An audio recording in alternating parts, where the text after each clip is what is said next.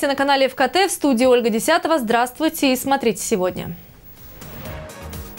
Сочи принял вдвое больше гостей, чем планировалось. Тем не менее, все службы фестиваля молодежи успешно справляются с работой и даже готовы защитить участников от гриппа. В Сочи за один день закрыли сразу несколько автомоек. Причина проста – вопиющие нарушения экологического законодательства. 11 миллионов рублей выделено из бюджета Сочи на восстановление фитофантазии. Оценить процесс приехал глава курорта. Монастырские подворья, известные иконы и беседы со священнослужителями. В Сочи открылась выставка-ярмарка «Православие».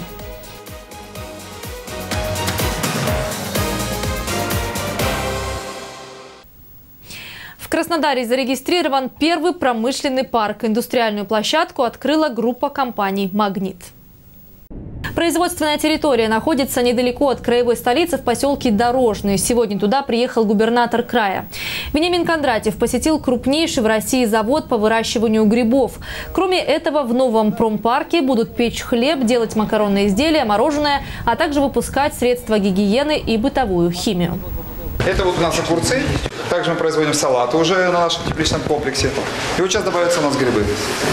Коллеги, просто такими же темпами мы должны максимально перекрыть сегодня весь импорт, который сегодня конкурент. Э, и на самом деле выйти со своим э, фруктом, со своим овощем, со своей продукцией э, на прилавке, в первую очередь, магазина. И на самом деле все это будет на столах наших жителей. Это самое основное. Я еще раз подчеркиваю, это наш качественный продукт. Он выращен в Краснодарском крае. Мы знаем, как он выращен. И это, наверное, самое главное, что является залогом здоровья э, нашего населения. Э, конечно, в первую очередь детей. Только завод по производству грибов занимает площадь в 50 гектаров. В год на нем можно будет получить 6,5 тысяч тонн грибов. Сергей Галицкий показал Вениамину Кондратьеву основные цеха и лаборатории, где проверяют качество продукции. Глава региона считает, что Краснодарский промышленный парк может стать одним из ведущих не только на Кубани, но и в России. Сочи принял больше гостей, чем планировалось. Ранее отмечалось, что количество участников Всемирного фестиваля молодежи в общей сложности достигнет 25 тысяч человек, а по факту получилось в два раза больше. Соответственно, все городские службы приведены в режим усиленной работы. О том, как справляется город с задачами и как отзываются гости о курорте в материале Татьяны Говорковой. Сегодня третий день работы фестиваля, и участники продолжают прибывать на курорт. По словам организаторов, Сочи планирует э, прибыть более 50 тысяч человек. А это значит, что город бьет рекорды по количеству делегатов. Ранее считалось, что самый массовый молодежный форум прошел в Москве в 1957 году. Тогда количество участников составило 34 тысячи человек. Сначала планировалось, что в Сочи приедет порядка 25 тысяч участников. И так как количество гостей в разы увеличилось, в особом режиме режиме ведет работу городской штаб. Его задача – круглосуточный мониторинг за санитарным состоянием, службами коммунального хозяйства, инженерной инфраструктуры, а также контроль за размещением гостей и работой волонтеров. Помогаем федеральному штабу, решаем те задачи, которые поступают, по, по сути, ежеминутно. Все это берется на учет, отрабатывается. Каких-то серьезных сбоев, инцидентов пока нет, и мы очень надеемся, что в таком же режиме мы закончим это мероприятие. Сейчас территория Олимпийского парка, по словам руководителей городского штаба, практически в идеальном состоянии. Это отмечают и гости курорта. We love Sochi.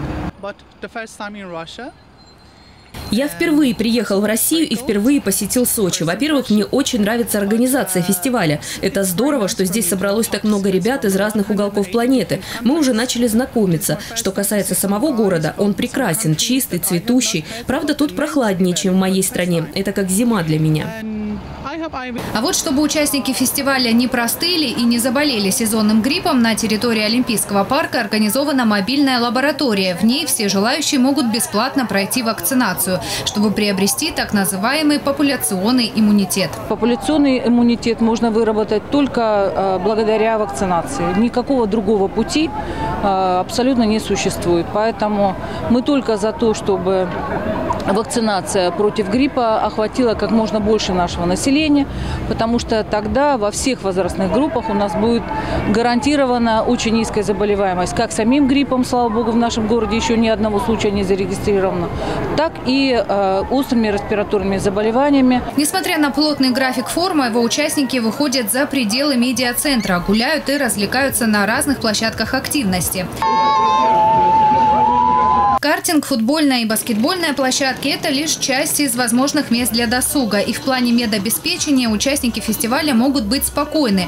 На территории Олимпийского парка ежесуточно работают 36 бригад скорой помощи. Кстати, еще одна возможность участников – бесплатно проверить себя на ВИЧ-инфекцию. Татьяна Говоркова, Михаил Дубинин, телекомпания «ФКТ».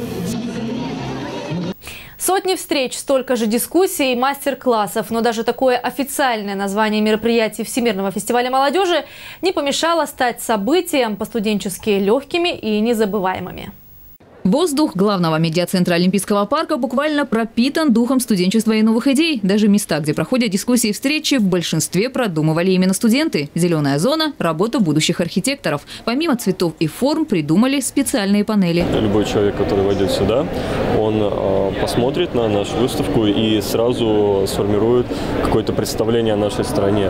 И даже оно будет общее и будет э, представление, в частности, о каждом регионе. Именно в этой зоне обсуждают архитектурное будущее мира. Особое внимание хозяину фестиваля – Сочи. Участники предложили свои варианты развития бассейнов, рек-курорта. Например, Мацеста может измениться с легкой руки смоленского архитектора. Это долина реки Мацесты. Мацеста в переводе – это живая вода. И вот э, тема конференции, которая у нас сегодня будет, живая вода, дискуссии, панельной дискуссии «Живая вода, живые города». Для меня живая вода – это вот именно вот то, то, что делает Сочи бальнеологическим курортом. Возможность представить свое видение перерождения курорта участники смогли в рамках конкурса «Сочи-2035». Молодые специалисты свежим взглядом посмотрели на те проблемы, решение которых уже не терпит отлагательств. Произойдут решающие дискуссии, обсуждения, подготовка к новому генеральному плану. И параллельно с этим э, молодые архитекторы предлагают свое видение, которое может войти составной частью в этот генеральный план. Оценивать работы молодых архитекторов будет опытное жюри, кстати, тоже когда-то оставившее след в Сочи. О подрастающей смене отзываются с уважением. На фестивале молодежи только самые перспективные будущие архитекторы. Начинали мы с гостиницы «Лазурной» вашей. Собственно, собственно, своими руками я эти фасады рисовал. А последняя наша работа странным образом замкнулась в Сочи. Это «Южный 2». Вот мы сделали для вашего замечательного города. Кроме дискуссий на тему архитектуры, участники фестиваля говорят о политике, искусстве, спорте и других направлениях. Пока одни танцуют и поют, другие между делом сражаются в пинг-понг. Шахматы для любителей более спокойной паузы. Хочется увидеть технические достижения? Тогда дорога на выставку роботов. Конечно, быстрее и проще освоиться помогают волонтеры. Именно эти ребята, по мнению самих студентов, сделали их фестиваль дружным и понятным. Uh, Мои впечатления о Сочи – это очень продвинутый город, продвинутый сервис, инфраструктура. Больше всего впечатлен встречей. Спасибо России, мы очень впечатлены вашим гостеприимством. Спасибо. Только второй день фестиваля, а его участники уже переполнены эмоциями и впечатлениями. Чего ждать дальше, даже не загадывают, но знают точно, удивляться и влюбляться еще придется не один раз. Инга Габешия, телекомпания «ФКТ». Фильмы молодых сочинцы и гости курорта могут бесплатно посетить кинотеатры города. В кинозалах «Юбилейный» и «Родина» стартовали показы фильмов стран-участниц Всемирного фестиваля молодежи и студентов. На кинофоруме представлены самые яркие ленты молодых режиссеров, отмеченные международными конкурсами. Фильмы были отобраны именитыми российскими и зарубежными кинокритиками и киноведами. Главным критерием является возраст режиссеров не старше 35 лет. Первые сеансы посетили более 200 жителей гостей курорта. Кинопоказы пройдут по 20 октября. Вход свободный. Объекты бизнеса, работающие вне закона, в Сочи закрываются ежедневно. Вот и сегодня городская комиссия приостановила деятельность сразу трех автомоек, нарушающих сразу несколько федеральных законов. В числе прочих недочетов отсутствие договора с водоканалом. Как следствие, отключение от водоснабжения. Все подробности у Инги Габешия. Автомойка на улице Яна Фабрициуса, вернее целый автокомплекс «Хаус». Объект предлагает автомобилистам комплекс услуг, в том числе гарантирует профессиональную полировку и не просто мойку, а химчистку машины. А вот насколько профессионально и чистоплотно предприниматели ведут свой бизнес, проверили специалисты городских управлений, Саха и Водоканала во главе с первым вице-мэром Мугдином Чермитом. Ситуация здесь оказалась из ряда вон выходящей. Автомобили с мойки выезжают чистыми, а вот ливневки остаются забитыми опасными отходами. И определили данный факт специалисты невооруженным глазом. Выгребная яма оборудована в одном из боксов автомойки. Ее содержимое прямиком попадает в канализационный коллектор. Во-первых, надо отключить воду, потому что у них системы очистки воды нет. Не выполняются требования 7 федерального закона об охране окружающей среды. Не выполняются требования 74 федерального закона о воде и водных ресурсах.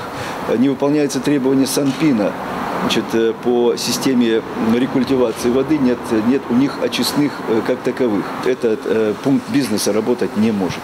Потому что ну, они сливают э, нам на, э, в ливневку и в канализацию неочищенные стоки. Спрос автомоек особый, ведь здесь используются специальные химические средства. Все автомойки должны быть оборудованы системой очистки воды, которую можно использовать повторно. Но таким образом организуют свой бизнес единицы. Вот и здесь замаскировали след преступления, ту самую выгребную яму, мусором, который, судя по всему, копится неделями. Договоры на вывоз отходов и на водоснабжение у предприятия формально имеются, но со сторонними, а не муниципальными организациями. Доказательств Доказательством же того, что сброс хозяйственно-фекальных вод на данном объекте происходит, стал и этот ручей на самом въезде на автомойку. Каждая автомойка – это источник проблем. Источник проблем в экологии для города. Поэтому другого подхода не будет. По поручению главы города мы э, проверили все 188 таких объектов бизнеса. Это шиномонтажки, это автомойки. Поэтому если кто-то будет работать вне рамок закона, вне рамок градостроительного кодекса, вне рамок Санпина, то его ждет такая же участь. Они работать не будут. Разбирательства с автомойкой на Яна Фабрициуса на этом не завершены. Ко всему прочему выяснилось, что объект базируется на территории Сочинского нацпарка. Вне закона работает и вот эта автомойка на Донской. Из имеющихся на месте документов лишь паспорт на класс отходов. Выясняется, участок в аренде. Собственник земли от решения проблем устранился, считая, что его задача только лишь платить налоги. Я арендодатель. Ко мне вопросы только земельный комитет, основания документов. А я за них не могу отвечать, они субарендаторы. Но отвечать за себя не стали и сами представители автомойки. Скажите, пожалуйста, Заняты. законных ли основаниях Заняты, не видите. Нужные документы городской комиссии так и не предоставили. В любом случае, отметили специалисты водоканала, договор с данным объектом они не заключали. Да и картина знакомая. Отработанная вода здесь также стекает в канализационные люки. Вердикт – отключить объект бизнеса от воды. Если нет договора, они не имеют права пользоваться ресурсами. Контролируем эти отключения, чтобы люди самовольно не подключались. Как пример, это вот улица Пирогова. На сегодняшний день предъявлен собственнику штраф в размере там, 4 миллионов рублей. Если эти штрафы не будут оплачены, ну, соответственно, мы передадим в суд, ну и дальше это судебные приставы, там, арест имущества и так далее, блокировка счетов. В любом случае, то есть уплата этого штрафа, значит, если не добровольно, добьемся через суд. Руководство города в очередной раз обращается к предпринимателям и подчеркивает, что прихода комиссии дожидаться не стоит. Задача бизнесменов – вовремя обратиться в ресурсоснабжающие организации и заключить договоры. К слову, в рамках таких рейдов проверяют и наличие наличие трудовых договоров с работниками. Инга Габейша, Николай Тихонов, телекомпания «ФКТ». 11 миллионов рублей выделено из бюджета Сочи на восстановление фитофантазии. Я напомню, это небольшой ботанический сад, находится он возле Зимнего театра. Это творческая мастерская знаменитого сочинского ландшафтного дизайнера Сергея Венчугова. В 70-х он создал на курорте неповторимый, узнаваемый стиль озеленения. Сегодня в городе уголков Венчугова осталось не так много, и местные власти стараются их всячески поддерживать. То, как идет процесс восстановления фитофантазии, сегодня приехал оценить глава Сочи Анатолий Пахомов. Все подробности в нашем следующем сюжете. В 70-е фитофантазию, созданную известным художником-озеленителем Сергеем Винчаговым, называли площадкой для творческих экспериментов. Здесь пробовали абсолютно новые в ландшафтном дизайне техники и материалы, которые позже применяли в оформлении курорта. Например, здесь выложили стену из ракушечника, привезенного из Крыма. А потом этот пористый камень стали активно использовать в украшении города.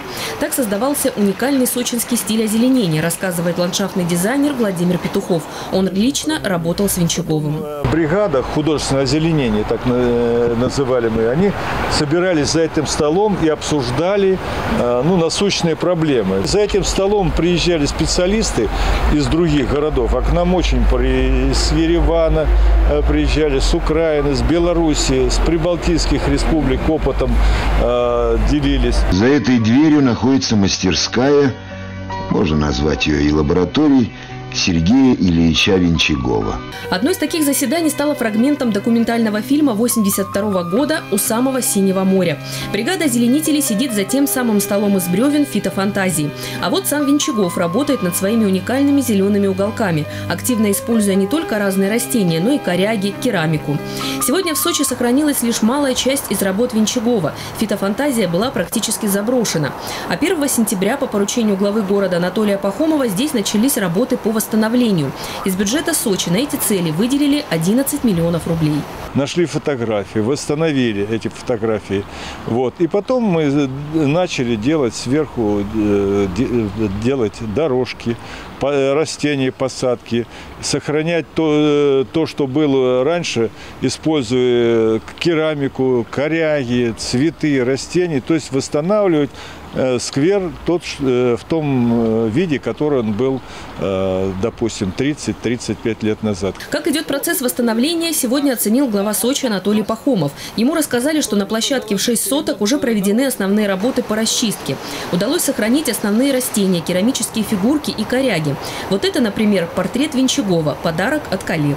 Это прежде всего история, это поддержка и память о замечательном дендрологе Вильчугове, да, и, который город наш э, делал красивым.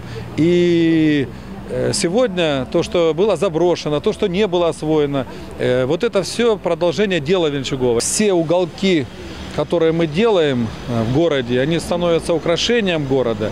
И буквально через два дня, три дня мы откроем сквер либо фестивальный, либо дружбы народа, он все равно будет посвящен именно нашему 19-му фестивалю молодежи и студентов.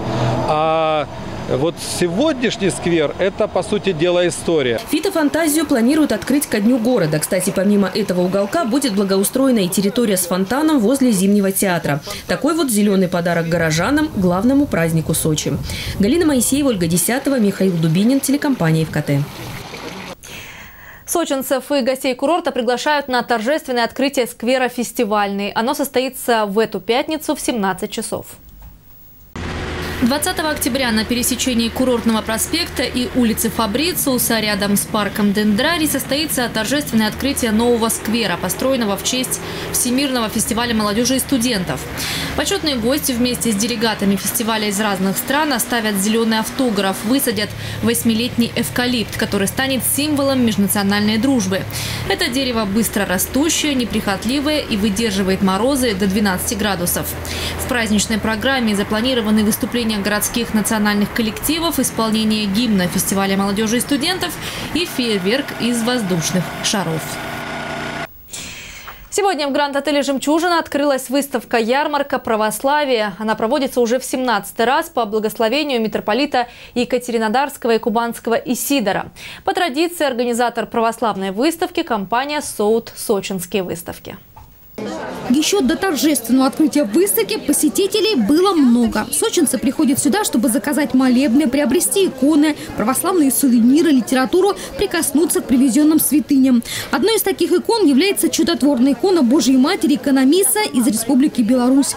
Обычно около нее молятся об избавлении от бедности и разорения. Все мы как-то ищем ну, определенной, современным языком говоря, экономической стабильности, какой-то определенной защищенности. Так вот, с Божьей Божьей помощью и молясь пред экономиссой, многие люди получили просимое, получили милость Божию. Отсюда множество навесок, благодарений. То есть люди молятся, получают просимое и благодарят Пречистую за те чудеса, которые она являет в нашей жизни. Работа выставки традиционно начинается с молебна и официальной церемонии, в которой принимает участие благочинный церкви Сочинского округа протеерей Андрей Дубровский.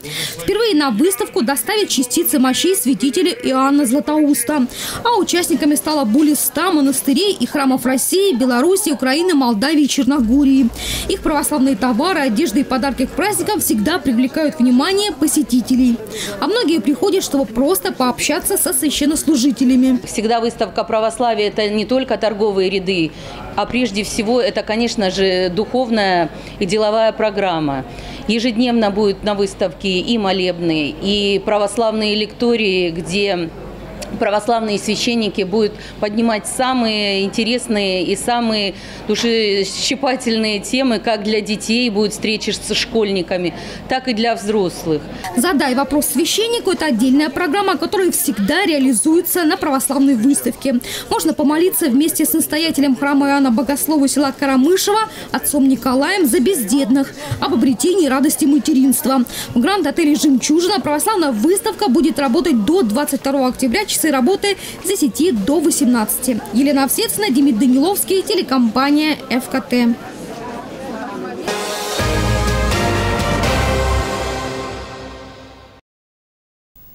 Постоянным участником выставки является компания «Ароматы тайги». На ее стенде можно найти все, что готова подарить щедрая природа тайги и реки.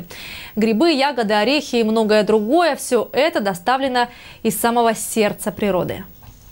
Вот у нас грибы соленые, 12 э, позиций. Все соленые бочка. Вот сухие грибы, посмотрите, 3-4 позиции. Лисички, подосиновики.